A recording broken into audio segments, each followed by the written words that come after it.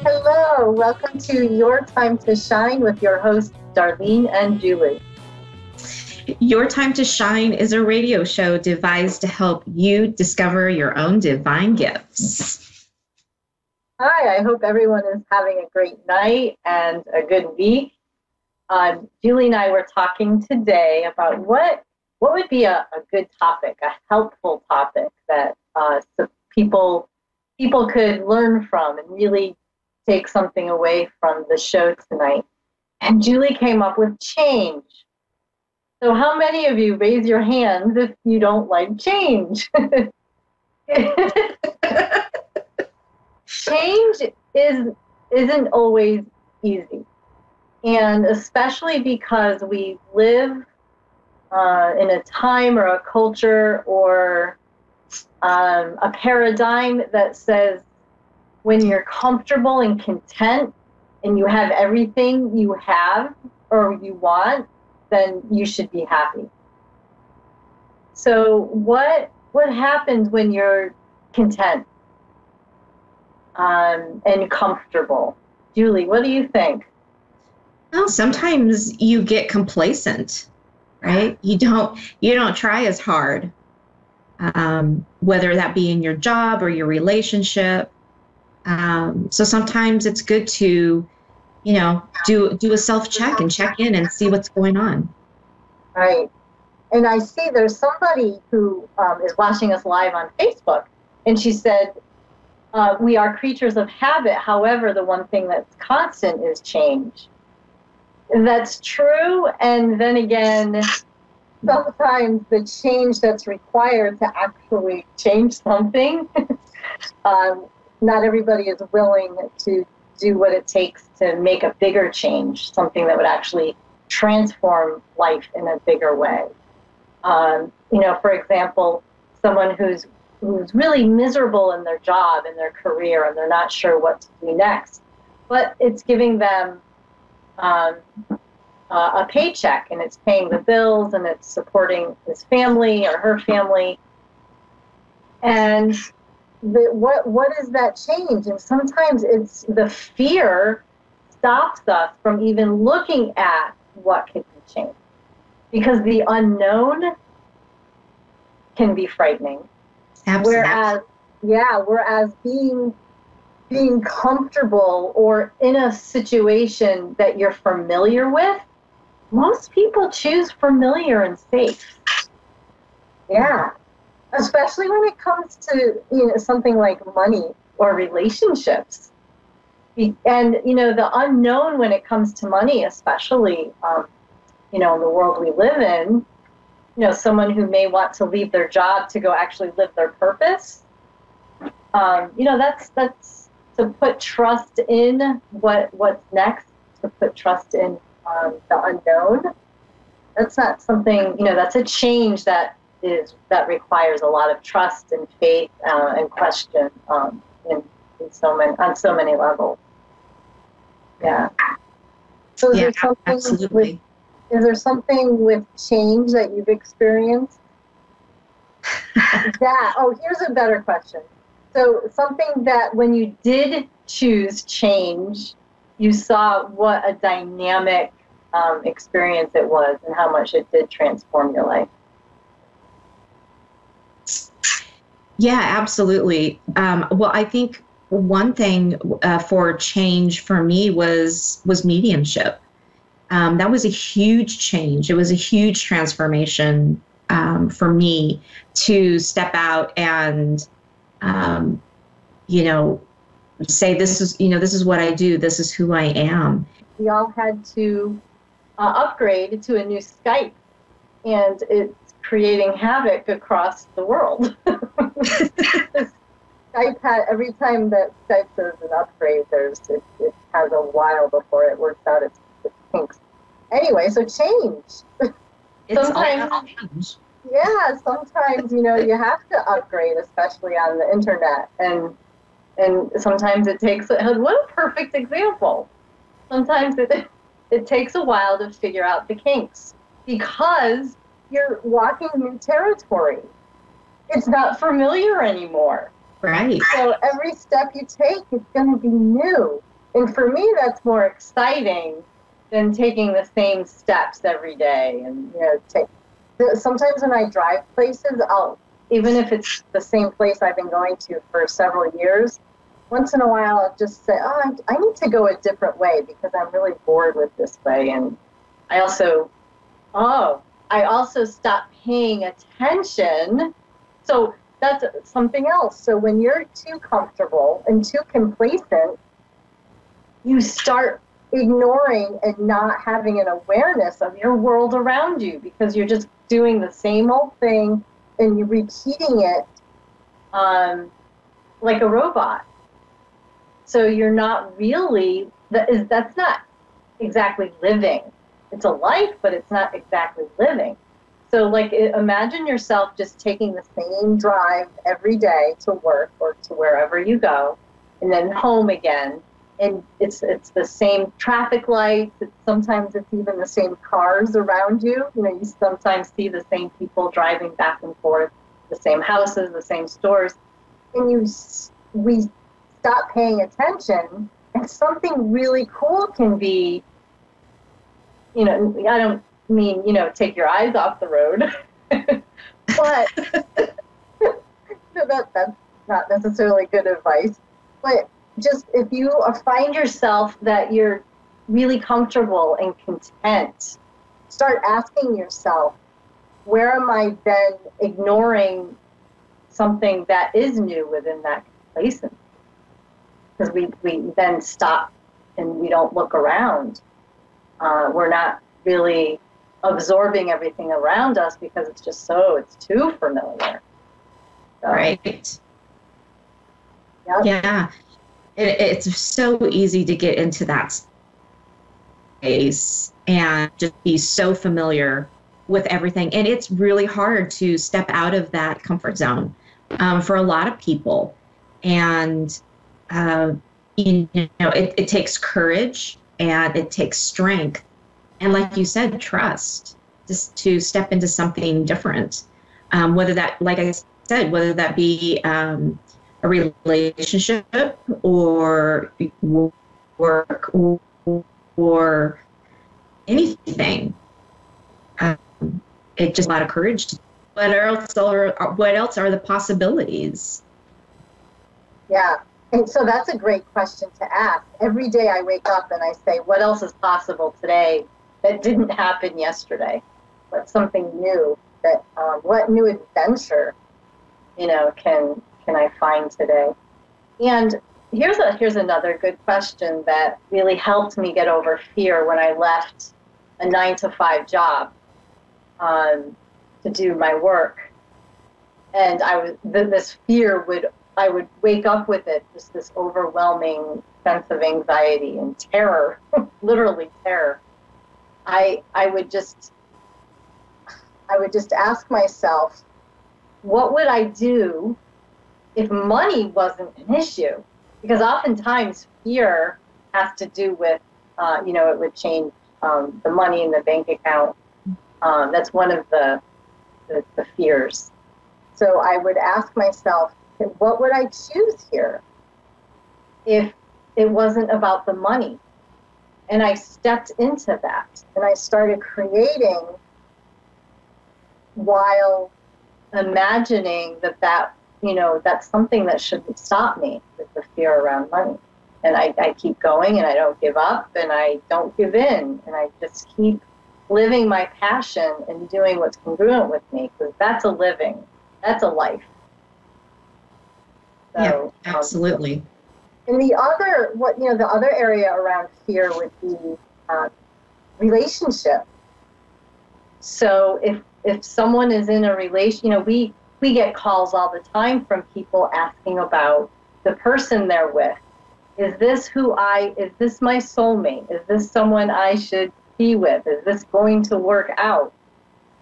Well, I, I've in, in my past, I've stayed in relationships because my biggest fear in relationship was being alone. Well, if I, I'll stay in this relationship because it's somebody, it's good enough and I'd rather that than not have anybody. Right. And I found that that was one of the biggest mistakes I made.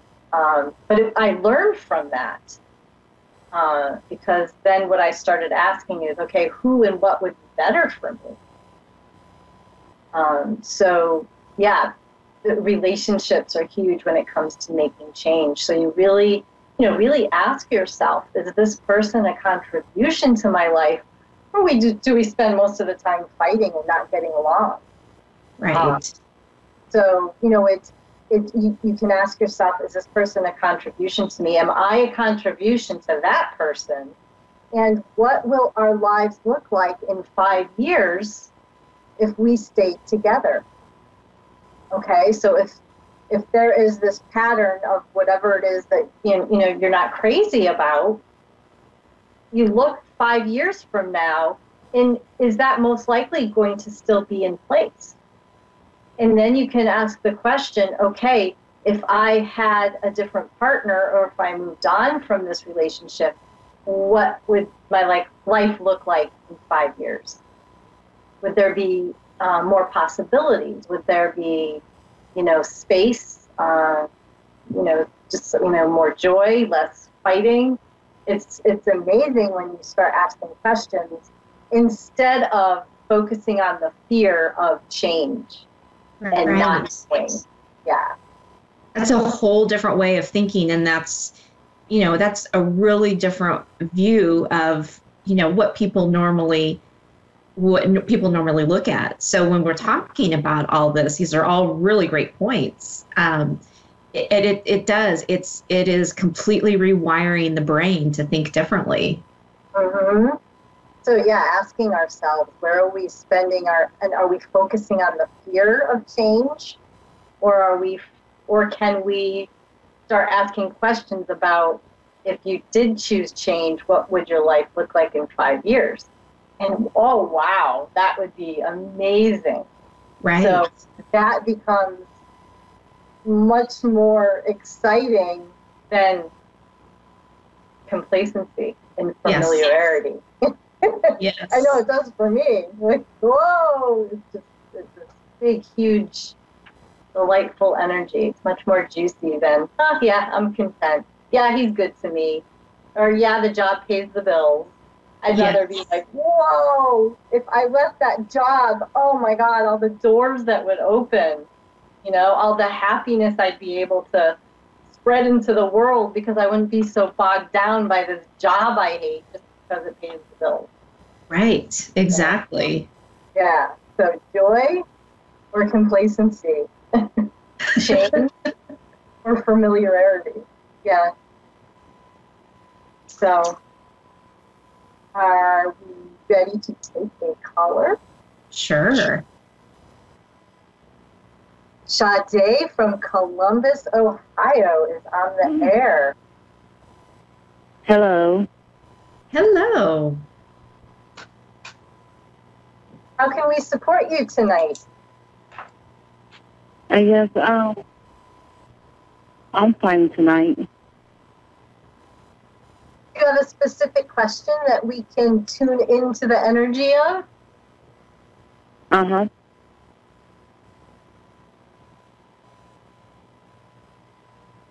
Hello. Hi. Yeah. So, what is, what is your question? Um, general is um just life serious relationship, job, anything. Is there a particular area that stands out the most for you that you would like information around? Uh, my relationship right now. Your relationship now? Yes. Okay. So it's I like am. Go ahead. Oh, go ahead. Um, I, I was just going to say, um, do you uh, do you do you guys hmm trying to think of how how to put this what what i'm seeing is um, somebody i'm seeing someone dancing um, so i'm wondering if uh, so when I see somebody like that and I see if a person dancing, it's not necessarily literally dancing. Um, but that just the fact that you guys um, are enjoying um, there's a journey that you guys are enjoying together. Um, i see this this person in your life um, this person is is a is a gentleman. He is uh, he's very gracious. Um, Okay, like a, um, I, I don't know if you probably talk about my dad or somebody, because I'm a lesbian, so I don't know. The gentleman. okay so I have a son. Did, so did did your um did your dad did he ever wear hats?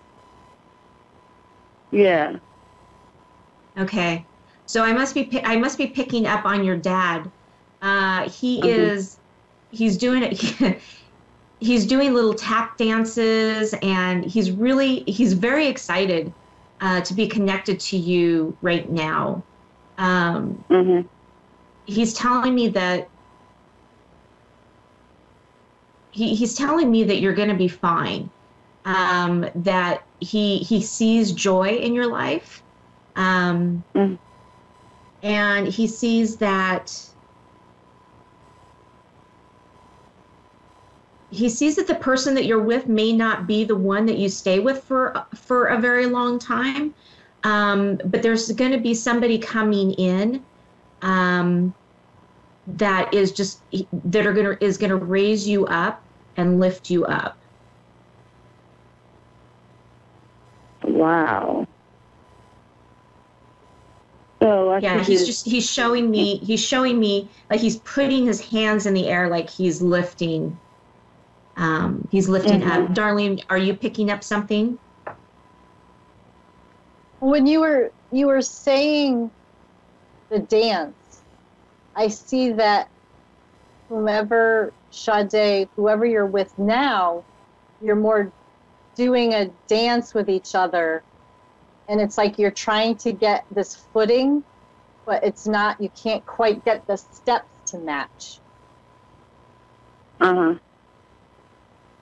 So when when Julie was talking about the dance, it's like you're Right. or or dancing around the issue. Yes, that's it right there. Yeah, I understand. Yeah, I understand what you're saying because she likes to lie all the time and just telling the truth about everything. She likes to, if I ask her a question, she tries to change the subject or something like that, you know, instead of just She's answering the question. Yeah. she skirts the issue, right? Right. Yeah. So then, yeah. So think about what it is. Then you know what can you ask from her? mhm. You know because you're you're both then dancing, doing a dance, and not quite uh, getting to the issues that need to be talked about. Yeah. Yeah. Well. Yeah, I know exactly what you're talking about. Exactly. So what should I do? Like, it's not me with the issue. It's it's always her. Like, she's like, she keep her phone on silent. Like, she's real secretive. Like, I don't know what to do. We're supposed to be moving in together. But I just don't know if that's the right step to do at this time.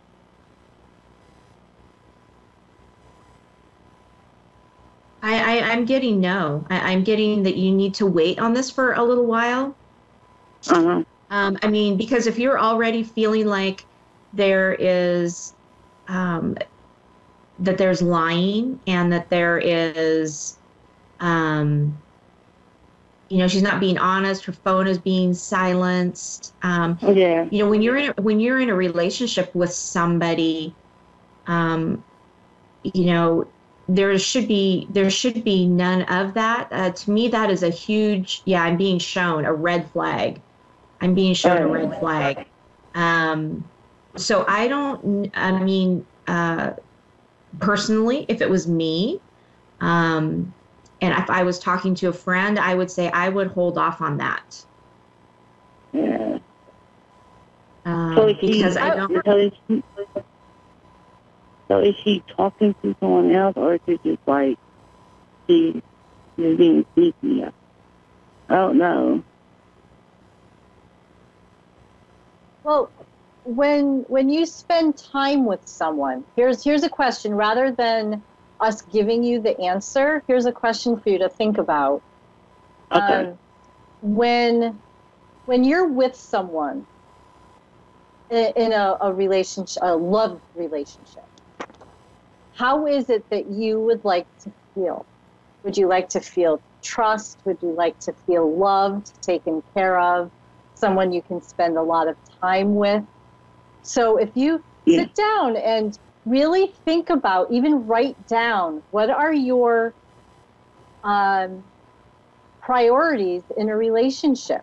And is are you receiving what it is that you would like to have in this particular relationship?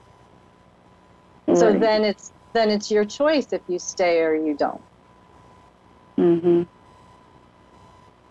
And can you, uh, you know, can you imagine in five years what your life would look like if you stay, or five years from now if you, you know, found someone else that treated you and, um, you know, more than more like what you would desire in a relationship.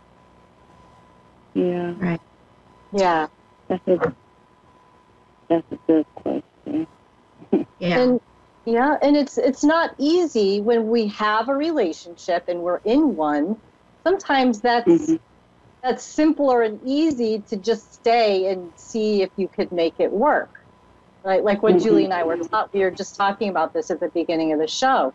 So you can choose what you have now or you can Mhm. choose, you know, something that you would rather have and have it look like something different. Uh, and make a Mhm. change. Yeah. Right. And and to put this in a little bit of perspective for you, Sade, I had, you know, I actually had a similar situation. Uh, I am, you know, I'm I'm divorced, and, um, you know, I'd been together with my spouse for a very long time, but then I could see the change, and I could see the, um, you know, I I could see the, you know, turning the phone off or looking at the phone when I'm not, you know, you know, listen, you know, watching or listening or anything like that. So Mhm. take that, take what Darlene has said, and then just sit with that for a little bit and see how you feel. Yeah. And we're about to, ooh, the show that went by really quickly. So, Sade, I hope everything works out really well for you. And remember, you All have a choice. You have a choice to be happy. Okay? Absolutely. Yeah. You're beautiful Right. and you deserve the happiness. And it's out there. You know, we live on a planet with over 7 billion people. So, you know, just to put it in that perspective. And re- Mm-hmm. and remember what your dad said: being lifted up high. yeah being with someone who lifts you high that's a yeah that's a great um, something to go away with awesome so thank you Thank for you. joining us tonight Mhm. Thank you. thank you julie it was a pleasure It was fantastic. Thank you so much. and you can go to yourintuitivementors.com for information about Julie and I and the readings that we offer. And our Facebook page, Your Time to Shine, if you'd like to say hello and keep in touch. And next Thursday, same time, same place.